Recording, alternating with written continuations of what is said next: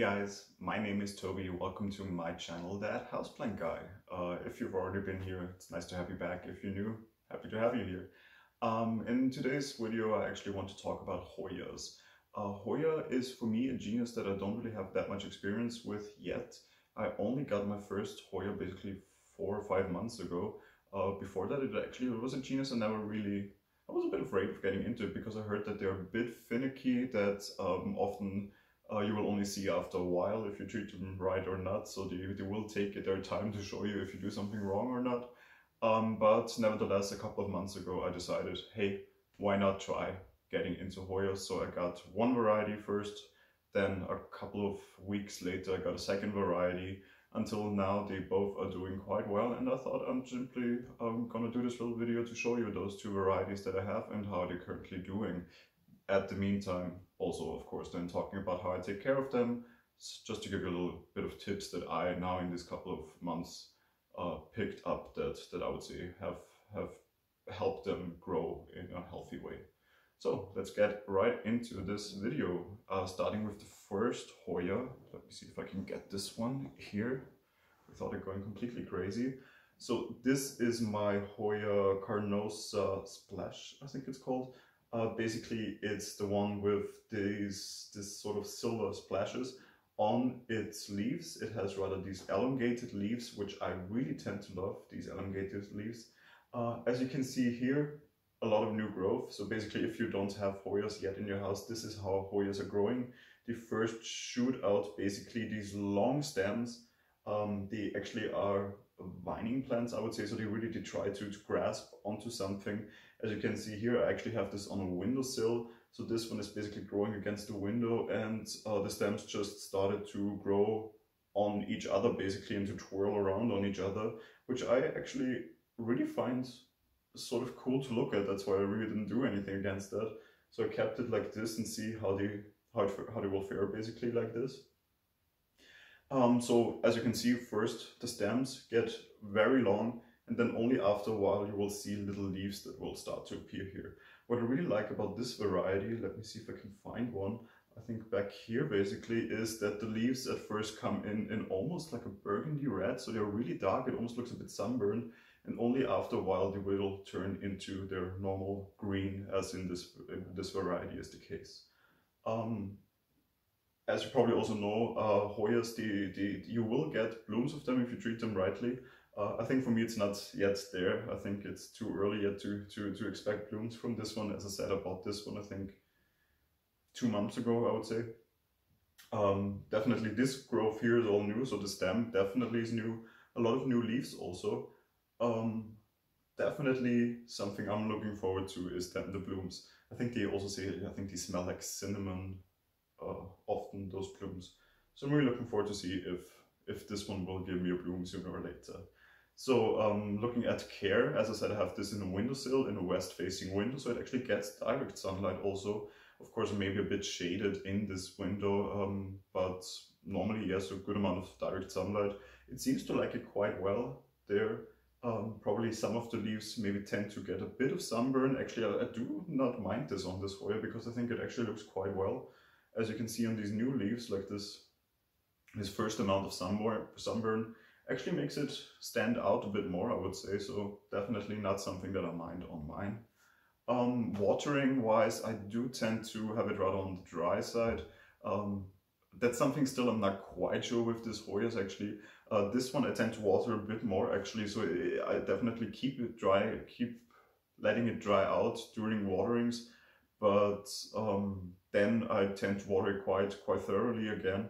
It seems to be doing quite well, so this one I'm not struggling that much with when it comes to watering. The other one that I'm going to show you later, I did struggle a bit more with it. Um, maybe also because I repotted this into coco coir and this one dries out a bit faster in general. That could be, be the case, so definitely that's probably also the reason that it doesn't sit in water too, too long. Uh, Hoyas tend to have very, very thin, very soft um, roots so definitely the root system can be can be very fragile. So keep in mind that the root system you shouldn't destroy too much. Also by wrongly watering, it will affect this one faster than other plants with thicker roots. Definitely. Uh, so this would be the first variety, um, probably well, actually one of my favorite plants I would say right now, uh, simply because it gives me so many new leaves. Um, I mean you can see here the leaves are basically stacked because there's so many in there. Um, and the new leaves that are coming, they are coming like in like really tiny and basically end up growing into these huge leaves. So really a plant I like to, to look at and a plant that until now actually is doing quite well in my house. So this was the first variety.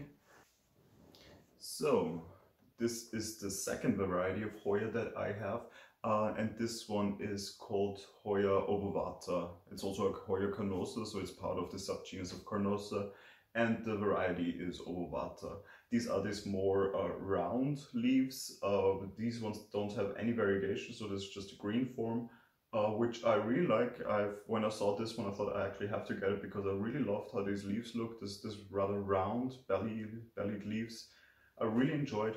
And actually, what I started to do with this one is to to build this sort of uh, frame for it where it can grow around. So basically, I just used a, a copper wire that I had lying around, uh, stuck it into the soil on the bottom, made this circle out of it, and just sort of move the, the already existing stems uh, around the around this this almost trellis that I built for it. Um, it really seems to enjoy it there because it got a lot of new stems uh, that have grown since then. That I of course also try to to move around this circle, but it mostly actually does it by itself, so I really don't have to do that much with it. Uh, as I mentioned before, with this one, I did struggle a while with it because it uh, it started to lose some of the leaves, especially in the bottom here. These simply uh, they yellowed and then they became they they, they, they fall fell off.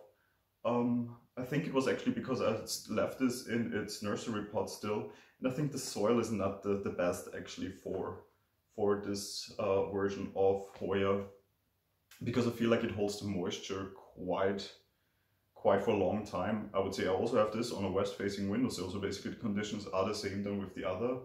Um, maybe a bit less sun because uh, on this windowsill it goes out to my balcony, which is uh, a roof on top also. So maybe a bit less sun. Uh, also don't have this one in terracotta, so this is also a reason of course that it won't draw, dry out as fast.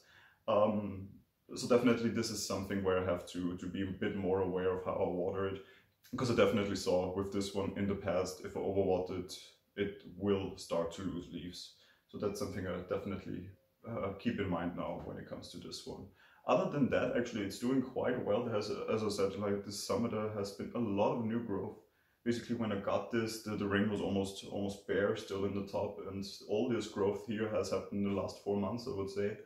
Um, again, actually, when it comes to that one, definitely easier to take care of than I would have expected first from what I heard from Hoya.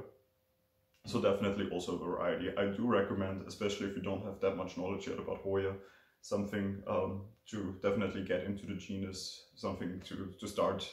So definitely this one, this Hoya Carnosa obovata is definitely one Hoya that's, that's definitely fit if you just start getting into the Hoya family.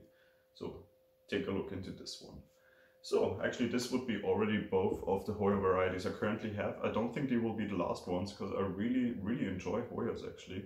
Um, also what I really like about them, the varieties, they look very different from each other. They're really nice variegated forms that that I also really already looked at that I might probably will get uh, sooner or later next, I would say.